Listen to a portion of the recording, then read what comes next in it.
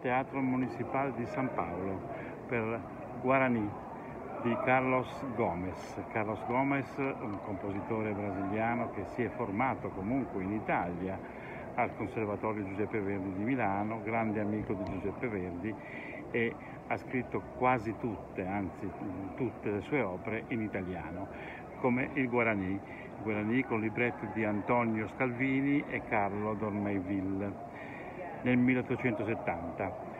La prima al Teatro La Scala il 19 marzo del appunto 1870.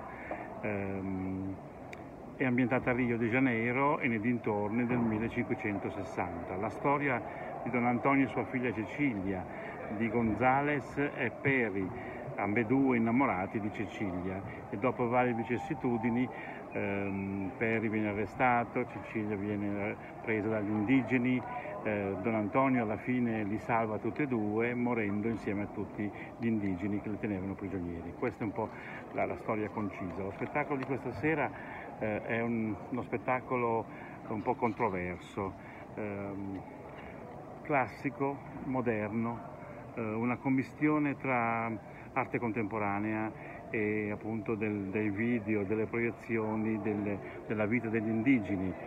Eh, la regista Cibel Forias eh, si è preso un po' una libertà, ha inserito nell'ambito della, dello spettacolo dei momenti indigeni con dei canti, con delle ballate eh, che non c'entrano nulla naturalmente con la partitura di Carlos Gomez, però comunque lo spettacolo è piaciuto tantissimo, il teatro sold out al 70-80% di giovani, giovani cosa che manca in molti teatri, per cui diciamo, questi, questi, giovani hanno applaudito, hanno ehm, festosamente eh, eh, accolto tutte, tutte, tutti i quadri dell'opera, in particolar modo appunto questi inserimenti eh, diciamo, vocale, vocale, che non c'entra niente con la partitura. Allora, intanto citiamo il cast, il direttore era Roberto Minkzuk, il Peri era Enrique Bravo, Cecilia era Deborah Faustino, Gonzales Davide Marcondes, Shaquin Licio Bruno, Don Antonio Andrei Miera, Don Alvaro Guglielmo Moreira, Rui Berto Carlos Eduardo Santos, Alfonso, Alonso Gustavo Lassen e eh, Pedro Orlando Marcones eh, ho dovuto leggere perché appunto i nomi sono eh, al 100% brasiliani. Eh, grande successo, il pubblico ha decretato un trionfo appunto sia all'opera di Carlos Gomez sia all'allestimento della signora Sibel Forias. Noi vi salutiamo, ci ritroviamo ancora in Brasile col Festival di Manaus. A presto! Siamo con Andrea Caruso, la direttrice del Teatro Municipale di San Paolo, per raccontare la, la, visione scenica del Guarani, di cui vi ho già parlato, un allestimento articolato, un allestimento eh, con tanti compromessi, però la direttrice, Andrea, ci racconterà come è nata questa produzione, che cosa vuole dire la produzione di questi inserimenti che abbiamo visto appunto di queste danze eh, tradizionali. Adesso vado, tento di parlare italiano. Bene, benissimo, comunque parli perfettamente italiano, tranquillo. Un portogliano, un portogliano. Sì. Dunque, eh, l'idea di fare questo Guarani è stato così. Il maestro Roberto Minciun che mi ha chiesto, mi ha detto, ah, c'è da tanto che non facciamo Guarani nel teatro municipale da più di 20, 20 anni e dunque voleva farlo perché c'è Carlos Gomes da Brasile, c'è una bella musica e volevamo farlo. Però aveva un problema che da, da, anni che sono passati eh, c'è la storia, la narrativa di queste storie del Guarani, diciamo che era da un punto di vista eh, che quando è, è stato il libretto fatto a partire dell'opera del de, libro di José de Alencar, che raccontava una storia cioè, una epoca che raccontava di un modo eh, non che, che per, per, i giorni di certo, oggi non fa certo. così tanto certo, senso. Certo, diciamo che voi l'avete un po' attualizzata, attualizzata. Comunque, rimanendo comunque nella tradizione. Eh, rimanendo, sì, perché non abbiamo interferito nella musica né nel libretto, però abbiamo portato in scena un'altra prospettiva insieme a quella di Carlos Gomes e del libretto, cioè abbiamo portato la prospettiva dei Guarani, dell'indigena, del, del è popolo originario del Brasile, che c'è perché questa narrativa che si conta da tanti anni, poi i Guarani, i primi eh, accordi dell'opera, sono diventate quasi un inno in Brasile perché fanno l'apertura del programma eh, ufficiale di radio. Dunque ogni giorno alle 7 della notte si, si sente questa si musica. sente questa musica in tutti i radio del Brasile. Certo. C'è la ora del Brasile, l'ora del Brasile e poi c'è, si racconta l'ufficiale di, di, di tanti anni fa. Dunque c'è anche quello che si sente quello e poi si va a raccontare una storia ufficiale. E per i, eh, i Guarani sono quelli che vivevano lì dove è il teatro municipale oggi. Dunque a São Paulo ci sono tanti Guarani, ci sono ancora eh, più di 20 eh, aldee, come si dice aldee, dove vivono le, sì, le capanne. Le capanne dei Guarani dappertutto, lì cioè, in São Paulo c'è una presenza importante e, e dunque abbiamo, siamo andati lì e, e, e parlato per, per, quello, per cominciare a vedere come farlo. Abbiamo, c'è un comité curatoriale nel teatro dove abbiamo invitato Ailton Krenak, che è un pensatore, un filosofo indigena, indigena che ha fatto questo lavoro di concezione generale. E poi... si è integrato, devo dire, molto molto molto bene perché eh, diciamo che nonostante non sia nella partitura di Gomez, però uno spettatore che vede lo spettacolo rimane coinvolto comunque di tutto lo spettacolo. No? Sì, sì, cioè quello è stato eh, per Ailton Crenacchi eh, un, un, punto di, di, partenza molto importante. Voleva rimanere lì l'opera, il libretto, la musica, però aggiuntare con la posta scenica una prospettiva indigenista della certo, storia. Certo. E, e, c'è la storia del Guarani, che alla fine non è veramente un Guarani una storia, perché c'è il titolo dell'opera che è Guarani, eh, poi quando è arrivata Sibeli Forgias, la regista scenica, la direttora scenica, scenica lei è, ha avuto questa idea di fare un, una, un, doppio, un doppio di Peri e una doppia di Ceci, dunque sì, certo, la, coppola certo, no, certo. di amore lì.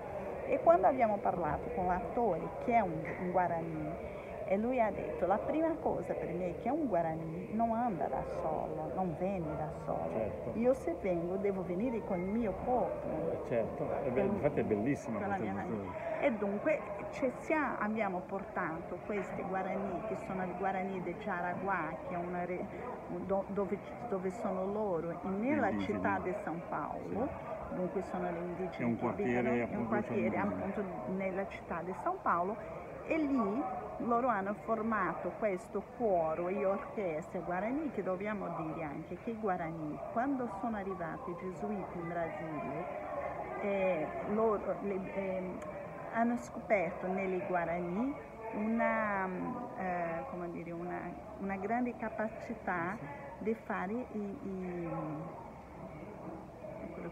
strumenti, di fare i, i come si dice? no? no. Di fabbricare, ah, di, costruire. Di costruire. Eh, erano proprio sì. bravi di certo, farlo. Certo. Dunque hanno cominciato a fare strumenti e per quello oggi c'è la rabeca, dunque l'istrumento che è dei Guarani, che loro hanno eh, cominciato a utilizzarla dopo con l'arrivo certo. dei gesuiti qua, perché erano bravissimi da farlo. Certo. Cioè, c'è un momento che venivano gente dappertutto per vedere come loro facevano certo. gli strumenti. Dunque tutto quello per dire che questo faceva senso di avere un'orchestra, un coro guarani, perché loro con la voce, avete visto, sì, cioè, sì, sono sì. bellissimi e dunque abbiamo portato quelli insieme e trovato un modo di mettere eh, insieme due prospettive della storia, dunque la narrativa che cambia, certo, cioè al finale certo. non è certo. che cambia la musica, no, il libretto, no, però non disturba, no, non disturba ecco. la musica, il libretto, però fa un'altra prospettiva dell'opera, certo. che quello lo vediamo molto importante perché oggi, eh, nelle giorni eh, attuali, cioè la importanza indigena è, è cambiata, il mondo certo, è cambiato certo. così, cioè, per noi è cambiato così tanto perché ci sono, un, abbiamo adesso un ministero, ministero, ministero, un ministero indigena in Brasile, c'è eh, una presenza degli indigeni in tutte le istituzioni molto più uh, forte, molto più organizzate degli artisti, dei pensatori, dei professori, di tutto. Dunque faceva senso di fare in Guarani anche con questa prospettiva così importante. Una visione completa di quello che è il giorno d'oggi e a maggior ragione l'inserimento della, dell'arte contemporanea, perché ricordiamo eh, poi lo racconterò sul mio articolo sulla rivista L'Opera, eh, prima di iniziare l'opera, ma comunque durante l'opera c'è un, un artista che disegna sul, sul um, sipario e poi queste uh, figure che girano per il teatro, è, è, è, una cosa coinvolgente. Sì, e questo artista che fa eh, dipinto lì, che fa la, la immagine, sì. cioè, è Denilson Baniwa. Denilson Baniwa è oggi un artista molto importante, un artista visuale molto importante eh, indigeno contemporaneo lui fa esposizioni dappertutto, fa, c'è un, una opera molto uh, trasversale sì, anche. Certo. E lui c'è un, eh, tra l'altro, fa un, tra, un, lavoro bello con, vedi questi eh, de, de, disegno. disegno, disegno che faceva come Debré lo faceva, certo. come facevano eh, il disegno dell'epo, de, dell'epoca che venivano in Brasile e era scoperto Brasile da sì. questo disegnista che facevano tutto il disegno. Lui fa una revisione di questo disegno, fa come una marca, una imprima alcune altre cose in questo disegno che c'era solo una visione, una prospettiva. Lui apporta nel disegno, riprende il disegno originale e poi fa una copia e poi di lì fa un, un, una marca. Quello che abbiamo chiesto a lui era di farlo con l'opera, di leggere quest'opera, capire quello che si raccontava e poi cosa voleva lui fare lì, quale marca voleva mettere, cosa che voleva interferire lì. E ha, ha cominciato a creare tutto questo universo, che c'è un universo imagetico di sogno, di idea che, eh, che ti portano, cioè i guarani, anche tutti gli indigeni, eh, che non c'era in opera. Certo, si certo. raccontava una storia di un incontro di amore tra gli indigeni bianchi, sì. però solo da una prospettiva assolutamente bianca, non c'era certo, niente di certo. altro mondo lì e lui ci ha portato. E devo dire che il lavoro è riuscito benissimo. Sì, lo trovo molto bello ecco. anche io. E devo dire che ha entusiasmato molto il pubblico e questa è una piccola domanda che ti faccio Andrea il pubblico è giovanissimo rispetto ad altri teatri, noi stesso in Italia, dove il pubblico è abbastanza âgé, ho notato che a San Paolo il teatro era quasi esaurito di giovani e questa è una cosa molto bella. Certo. Eh, il vostro dire... pubblico è molto giovane. Sì, devo dire che c'è un pubblico abbastanza giovane, c'è un po' di tutto, certo. c'è anche eh, eh, età differenti, però abbiamo una grande parte del pubblico tra 30 e 45 anni più o meno, una grande parte, e poi anche più giovane. Poi, eh, anche il fatto che noi, siamo, noi facciamo opere con una, tracciamo sempre qualcosa di, che sta passando nella certo. società, portiamo cose uh, lettura di, di, certo, di posta certo. in scena Una cosa contemporanea, contemporanea sì. e c'è anche la novità di cose, tutto, dunque la gente è tutto quello con una qualità anche molto bella, che c'è un'orchestra bellissima, un maestro bravo, sì. un coro dei cantori bravi, dunque fa di un modo che eh, tentiamo di fare ogni volta eh, molto è fatto bene, con molta certo, qualità, che certo. così la gente piace e vuoi ritornare, certo, no? Certo, eh, io ti faccio i miei più grandi complimenti di questo tuo lavoro, di questo nuovo percorso Teatro Municipale che nell'immaginario collettivo il Brasile, Rio, San Paolo, per gli artisti internazionali, per i grandi artisti, era una meta irraggiungibile, ma dopo loro si sentivano a casa propria. È un po' come mi sento io a casa mia in Brasile, perché sono 48 anni che vengo in Brasile. E il percorso nuovo che sta facendo il Municipal è su questa strada e ti devo fare tanti tanti complimenti. Eh, ringrazio tantissimo. E tra l'altro hai superato anche la buona prova dell'italiano, avete sentito come parla perfettamente italiano la nostra direttrice. Beh, sei un gentile. Grazie e a presto. Grazie mille, a presto.